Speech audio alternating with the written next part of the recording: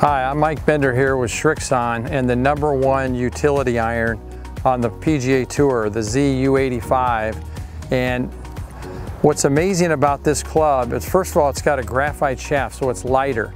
And when it's lighter, you can, it allows you to swing it faster. Secondly, it's got a lower center of gravity down in the, in the uh, flange here to help launch that ball higher. And that's why most people went away from the long irons to begin with. With the new ball construction, it's really important if you're going to use longer clubs like this to be able to launch that ball high.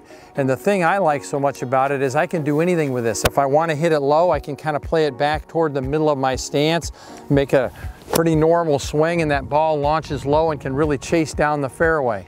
If I want to hit the club higher, if maybe I'm coming into a long par three or even maybe a second shot on a par five, I just set up a little bit more behind the ball, stay behind it, and I can hit that thing up in the air. It looks like a five iron, but yet it goes a lot farther.